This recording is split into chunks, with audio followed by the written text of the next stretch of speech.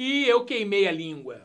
À tarde eu tinha gravado um vídeo em que eu falava da omissão do Ministério Público no caso do concurso da Polícia Rodoviária e da Polícia Federal. E não é que o Ministério Público ajuizou uma ação civil pública no estado do Ceará? Coincidentemente, no mesmo estado em que o doutor José Moura, aquele mesmo que conseguiu liminar suspendendo o concurso da PRF por três dias, ingressou hoje de manhã com uma ação popular pedindo também a suspensão da Polícia Federal.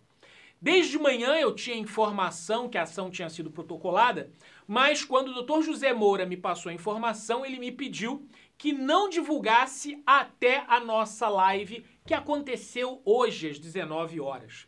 Essa live trouxe em primeira mão, na frente de todo mundo, a informação de que, primeiro, a ação do Dr. José Moura tinha sido protocolada no Ceará como uma estratégia para sair do TRF1, que negou o adiamento da Polícia Rodoviária, enquanto que o TRF, lá onde está o Ceará, era muito mais sensível a esse tema, né? Mas, para surpresa, é, é, é, o Ministério Público apresentou ação civil pública às 5 e pouco da tarde, né? Às 6 e pouca, pouco antes de entrarmos na live, nós soubemos do ingresso e a live já entrou direto lá. O pessoal começou a fazer gracinha, mas o fato é que a ação civil pública, que tem mais de 400 páginas, sendo que dessas 400, 350 são de provas. Todas essas provas que vocês têm visto aí na internet, né, de aglomeração, de canhoto, de troca de língua estrangeira, fiscal despreparado, tudo o que aconteceu no concurso da Polícia Rodoviária foi colocado como provas nessa ação civil pública do Ministério Público que foi encabeçada pelo Dr. Oscar, uma lenda no Ministério Público, na defesa de situações como essa. Inclusive, ele já conseguiu suspensões no Enem e tal, não sei o quê. Então, essa ação civil pública foi distribuída junto com a ação popular do Dr. José Moura. Doutor José Moura, que despachou com o juiz ainda de tarde, e eu não podia contar para minha audiência, né? Ele me avisou na hora do almoço que já despachou no gabinete e o juiz disse que, doutor, antes de analisar a sua liminar, eu quero trazer junto a ação civil pública do Ministério Público. A ação civil pública do Ministério Público, ele pede tanto o adiamento da Polícia Federal, como também a retratação do concurso da Polícia Rodoviária. Coloca para eles aí, por favor, primeiro a ação Coloca aí, ó. Então, esse aqui, ó, Ministério Público da União, Procuradoria da República do Estado do Ceará, Ação Civil Pública estava sem número. Desce aí um pouquinho, desce um pouquinho. A União Federal entra contra a Sebrasp, desce mais um pouquinho, sobre o fato do coronavírus. Aí ele começa a falar do coronavírus, da defesa, vai, devagarinho, vai descendo devagarinho, não, acho que você. Peraí, foi demais. Tá na página 20 já. Volta lá, volta lá. Você andou demais. Volta lá tudo, por favor. Então lá, competência da Justiça Federal, vai descendo do mérito, da tutela de urgência, vai descendo. Do pedido, pronto, aqui, aqui, aqui, pronto, ao vivo a gente faz aqui. Qual o pedido que o Ministério Público faz? Primeiro, a concessão da tutela de urgência para determinar a suspensão da aplicação da prova do dia 23. Item 3, item 3, que a Sebrasp, marca aí, seja intimada a explicar quais foram as medidas de segurança adotadas por ocasião da primeira fase bem como justificar a, efetividade de tais medidas, frente à vasta documentação probatória apresentada nesses autos de violação às medidas de distanciamento social e aglomeração de candidatos potencialmente infectados em um mesmo ambiente.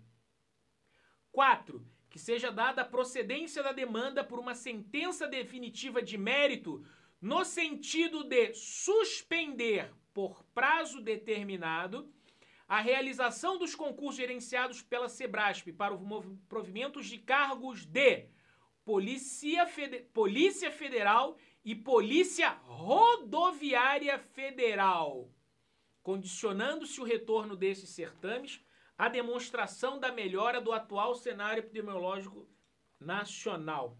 Pode voltar para mim. Muito bem. O Ministério Público que estava em cima do muro e não tinha tomado posição, no estado do Ceará, o doutor Oscar tomou posição já nos dois. Intime-se a Sebrasp a se explicar. Cabe até responsabilização, né? Tem 409 páginas o documento. A petição tem 17, né? Tirando lá a entrada e tal, deve ter umas 12. São 400 quase páginas, 380 páginas de fotos. Desce um pouquinho lá para ver se aparecem as fotos lá, dá uma descidinha lá.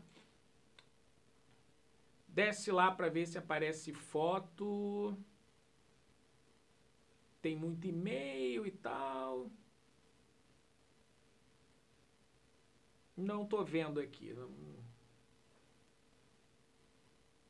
Não, não vi fotos, não vi fotos não. Mas quem quiser, quem quiser ação do Ministério Público, pede para mim no WhatsApp. Na descrição do vídeo tem, né, o meu WhatsApp para você pedir a cópia da ação. E outra coisa, não se esqueçam, com prova ou sem prova, domingo agora, dia 16 de maio, começa a mega semana de revisão da Polícia Federal. 11 aulões de todas as matérias da PF, mais convidados especiais né? Desembargador William Douglas, defensor público Gerson Aragão, é, o ex-auditor do TCU Vitor Ribeiro, Felipe Lima, Juliana Guerra, Ana Schwank, todos eles vão estar aqui junto com os professores do curso Aprovação, passando para você gratuitamente. Só precisa se inscrever no link aqui embaixo, hein? Inscreva-se no link abaixo. Bem, quero dizer para vocês que, ah, além dessa situação do Ministério Público, temos também o fato de que a Defensoria Pública da União, que ficou em cima do muro no caso da PRF, obviamente que também vendo isso daí, agora foi provocada. Uh, o Defensor Nacional de Direitos Humanos é um cargo que existe na gestão pública. Ele iniciou um processo administrativo na terça-feira na Defensoria Pública da União para que a defensoria se manifeste sobre o tema. Então, aguarda-se, espera-se que a Defensoria Pública da União também ingresse com a ação. Muita gente na live, que foi um sucesso, né, em primeira mão trouxe a informação para todo mundo. Muita gente perguntou quais são as chances agora, porque mudou o cenário, foi uma reviravolta, né?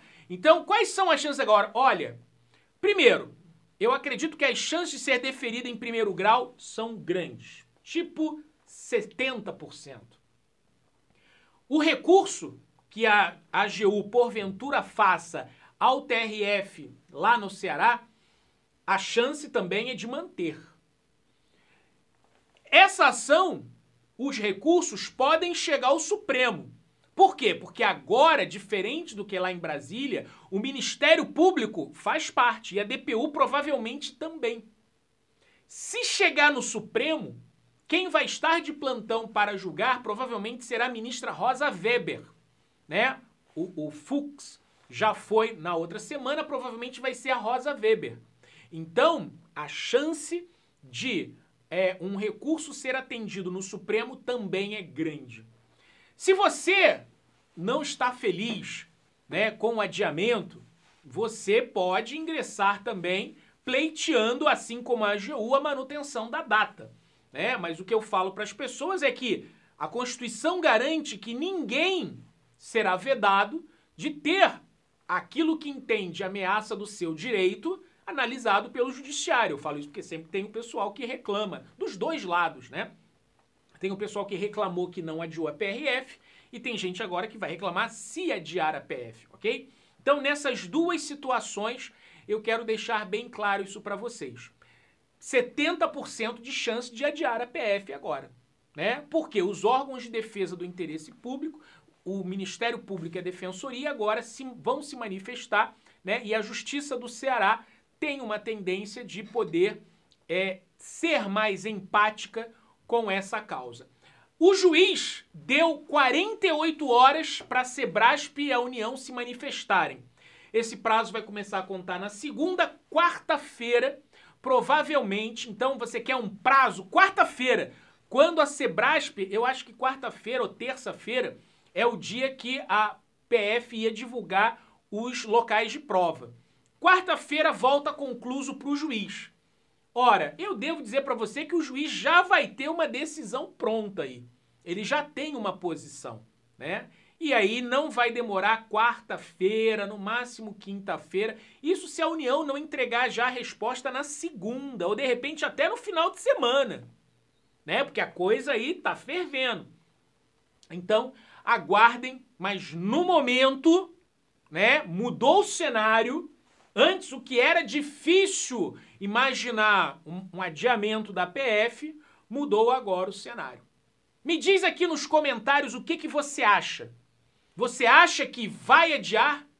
Você acha que o Ministério Público e DPU terem entrado vai facilitar?